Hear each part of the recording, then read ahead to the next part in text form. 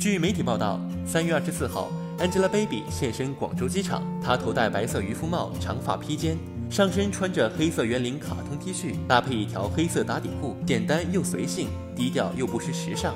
素颜戴黑色口罩遮面皮肤饱满有光泽一双明亮的大眼睛格外惹人注目。仿佛嫩回十八岁少女感十足被粉丝包围人气火爆。非凡娱乐实时报道。